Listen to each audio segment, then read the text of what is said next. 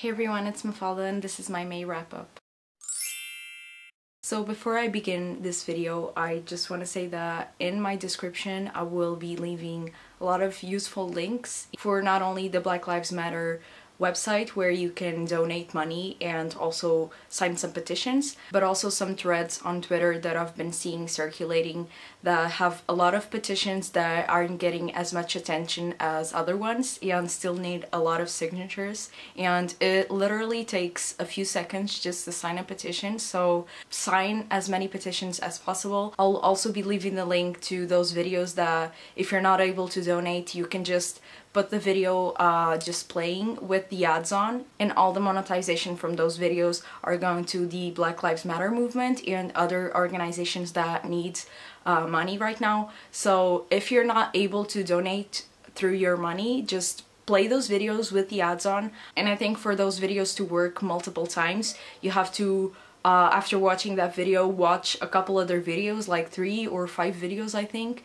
and then go back to that original video and just play it as you would and it will work again and the monetization of the ads will work again. Just play that video as much as you can because I've been seeing that it has been raising a lot of money uh, for a lot of organizations and it's great because I know that a lot of people don't have the means to donate right now because of uh, COVID and unemployment and all of that. And lastly, I will also be linking down below some videos from black booktubers who have been talking about their experience being black on booktube. And I think it's a very good learning experience for us, uh, white people.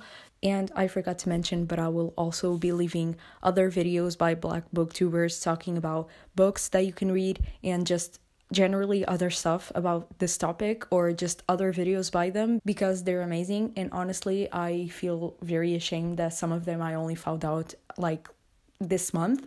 Uh, so yeah, please check them out. They're all in the description. And just a last quick note that I want to make is that even though we're seeing less and less stuff about this topic, not only online but also on mainstream media, it doesn't mean that it's suddenly resolved. We still have a lot of work to do and I just want to urge you all to continue doing your part, educating yourself, um, retweeting stuff, reposting stuff, we need to try and keep the same energy that we had last week and we need to keep educating ourselves. So yeah, and that's it. And now moving on to the video. So this month I managed to read 10 books, which was great. Uh, a little bit less than the previous month, but it's still a great number and I'm very happy with it. I read six physical books, which was really great. I usually, I think I read more audiobooks than physical books, not sure. Um, but yeah, I read six physical books and four audiobooks. And also I DNF'd two books and I'm not going to count them for my Goodreads challenge. That's why I said that I read 10 books. And there were other two books that I didn't finish and that I ended up DNFing. Um, one of them was such a disappointment for me. I just wasn't feeling the story. These were both on audiobook and the first one was Only Mostly Devastated. I am still heartbroken that I didn't finish that book. When I heard that there was going to be a Grease retelling with a male-male relationship, it just seemed so fucking good. And then I started reading it and honestly I just wasn't feeling it at all and I feel like the book was uh, focusing a lot on family relationships and uh, if you know Grease, if you've watched Grease, it has nothing to do with their family. It doesn't even talk about their families. So I noticed the resemblances with the movie, but I still, I don't know. I just feel like I was straining too far away from the movie and I wasn't liking it and I wasn't invested and I was mixing up characters all the time. So at like 30% of the book, I just gave up basically. and the second book that I DNF'd, I it was one of those books that it was the last thing available on Scribd and I started listening to it and I just wasn't feeling it and even though I want to read more books by this author, I think this is not the one to start with. And it was Dark and Deepest Red by Anna-Marie McLemore. Um, and yeah, I just, I didn't know what the book was about going into it and then I was very confused. So it like 30% I think also. I just DNF'd it and I, yeah, that's it. I want to read other books by this author, but maybe this is not the one for me. Even though it involves like historical fiction and all, I just wasn't feeling the audiobook as well, so yeah. Uh, but yeah, I don't count DNFs for my Goodreads challenge, also because I don't DNF books that often. Um, so yeah, let's move on to the books that I did read this month. So the first book that I read this month, I read it on audiobook and it was Sputnik Sweetheart by Haruki Murakami and I love Murakami's work. I think I've only read five books of his until now, but I absolutely love his writing and uh, just the stories that he puts together are so imaginative but also simple, I guess. I don't know how to explain it. Because I think if you told me uh, the plot of this book for example I would say okay that's a very like simple nice story. But then his writing and the way he tells the story just elevates the book uh, a step further. And it just becomes this elaborate uh, narrative. And I love that. So this book is told through Kay's perspective who is a guy who is in love with his best friend called Sumire and but Sumire is in love with an older woman and it follows their relationship and their friendship and one day Kei receives a phone call that Sumire has disappeared in Greece and then Kei and Sumire's love interest who is called Miu uh, need to come together to find Sumire and this book is kind of like a thriller to find Sumire and to know what happened to her and uh, it just deals a lot with relationships. Uh, a lot of Murakami's work deals a lot with relationships and love relationships and friendships. And one thing that I love about Murakami's work is that I always relate a lot with his characters because they're always very like lonely and artistic and just very like in their heads. And I just always relate a lot with his characters and I feel like that's not a good thing to be honest. Uh, but it just happens. I don't know. But yeah this was a very quick read. I really like the queer rep in this book because Sumire is in a relationship with a woman and I really wasn't expecting that. I think I haven't read a Murakami which had a female-female relationship I might be wrong, but I don't think so.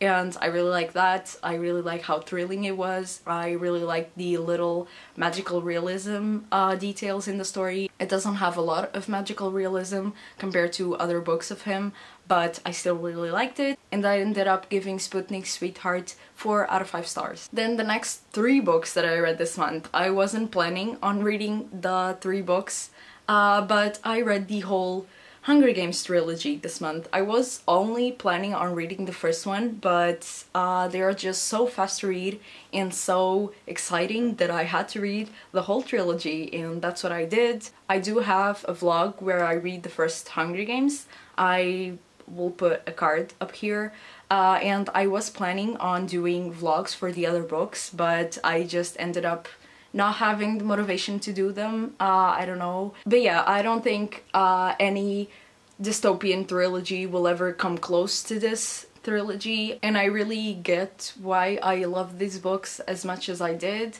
Um, back when I was a teenager, I really lived for this trilogy and I get why that is because it's a really great trilogy. I absolutely loved the three books, but I will say that my favorite is always Catching Fire, then it's The Hunger Games, and then it's Mockingjay. Mockingjay I feel like it's a bit weaker compared to the other two books because in the first two books I always ended a chapter thinking, okay, I need to read the next one because I need to know what happens. It always ends with like the perfect cliffhanger that just makes me want to read more. And I completely flew through the first two books and then in the third one I was kind of losing interest a bit. Uh, but it's still like a solid four stars. And then the first one is like 4.5 and the second one is a 5 stars. Um, I don't think I need to explain the plot of these books because everyone has heard about these books but um, yeah these are great a great place to start with dystopian YA fiction and since I've reread these books I've also re-watched the movies and they're still amazing and honestly one of the best adaptations of like YA books I've seen um, even better than Harry Potter in my opinion. Also another thing that I want to mention is that uh, last month a lot of people reread these books and I saw a vlog by Leena Norms. She is one of my favorite YouTubers ever and she did a vlog where she read these books again and she also did a vlog for the new Hunger Games book but I still haven't read that one so yeah and I will be linking that video down below because she makes some great points that I could never like think of and articulate. So I'll just leave the link to her vlog down below or in the cards somewhere. And please watch that vlog. It's so entertaining. I absolutely love her. And she just makes some great analogies with all of the details in the books. And it's great. Please watch it. Uh, but yeah, I read these three books this month, um, and like I said, it's 4.554, and they're still as great as I remembered and I'm happy for that. then the next book that I read this month was also by Haruki Murakami and it was What I Talk About When I Talk About Running. This is a non-fiction book about running and it's a collection of like little things that he wrote about running all throughout like two or three years. And honestly, this might be kind of an exaggeration, I don't know, but uh, I feel like this is one of the best nonfiction books that I've read in a while. But like, if he told me that I would be reading a nonfiction book about running, I wouldn't say that I would like it that much. I just wouldn't assume that I would enjoy it. Uh, but it's just such an enjoyable book. I don't know what it is. Maybe it's because I do run in my free time and uh, also Murakami is just such an engaging writer. Even if he wrote about trash, I would still like it because his writing is that good. Uh, but I just really enjoyed this book and it was such an enjoyable experience that honestly I would listen to it again right now I wouldn't mind it. But yeah, this book is just about his experiences running. He runs a lot, a lot more than I do, obviously. Um, but he just gave me a lot of motivation to run more and he also gave me a lot of motivation to write more because he also talks about like the comparisons between running and writing. And yeah, I don't know what it was about this book. Maybe it's because I connected with it, but I just really enjoyed this book and it was such a quick read and I all I didn't read it while I was running because when I run I just can't concentrate on anything but I did listen to this while I was out and about like on walks and stuff and I I don't know I just really like this book and I would recommend it to everyone. Even if you don't like running I feel like you're still going to enjoy this book. Uh, also I'm just gonna say this uh, if you haven't read any of Mur Murakami's work please do. He's an amazing writer and I feel like I don't see a lot of people talking about him on booktube. Uh, please read at least Kafka on the Shore. It's just everyone needs to read that book. It's just so good. And um, yeah, but I rated what I talk about when I talk about running 4.5 out of 5 stars. Then the next book that I read this month was Blood, Water, Paint by Joy McCullough. Um, this book is about a female painter. I've talked about this book a lot on my channel. This book talks about a female painter from the 1600s who is called Artemisia Gentileschi. I don't know if I'm pronouncing that right, probably not. Um, but I only found out that this was a real story by the end of the book when I saw that Artemisia was really a painter that existed in history. So yeah, this is about real life events and it's about Artemisia putting her rapist in trial. This is such a powerful story. Um, also, it's a very quick read because it's all written in poetry. She has a very powerful and uh, engaging writing style and I feel like if you don't like Rupi Kaur's type of poetry, you won't like this type of poetry because this is not the type of poetry that rhymes always. It's just like, kind of like, what is it called? Kind of like slam poetry, I guess. I don't know if it has an audiobook, but if it does have an audiobook, I feel like it would work really well in that format um, because sometimes I, I, I'm not a poet obviously and sometimes I would try to read it like um, in the way that they read in slam poetry and I wouldn't be able to but yeah this is mostly written in poetry but it also has some chapters in between where it's like her mother speaking to her and telling her stories and it's in like normal text format. I don't know what you will call it, prose.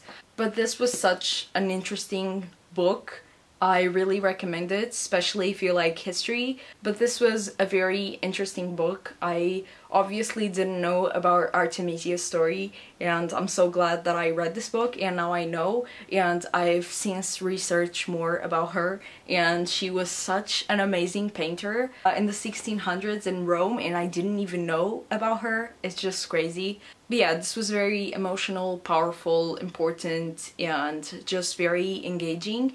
And I ended up giving Blood Water Paint 4 out of 5 stars. Then the next book that I read this month was on audiobook and it was Every Heart a Doorway by Seanan McGuire.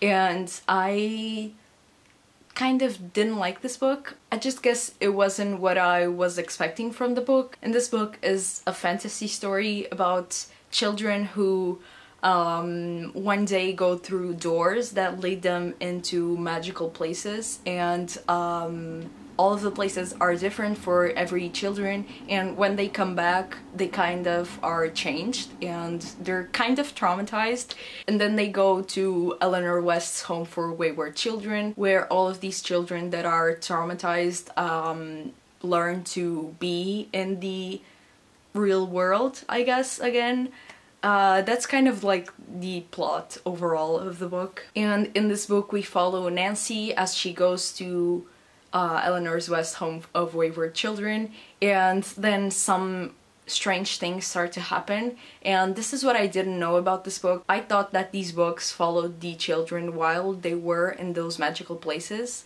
and when I started reading it and I figured out that it wasn't about that and it was about the after uh, experience and it just we just got glimpses of those magical places that they were in I just was very disappointed. So I guess it was my mistake that I didn't research more about this book uh, because I really thought that it was going to follow one of the children that went into a magical place and then it was their adventures there. But it's not about that. It's about the aftermath of going into those places and I just I didn't care, I guess, because it didn't meet my expectations, so I just didn't care.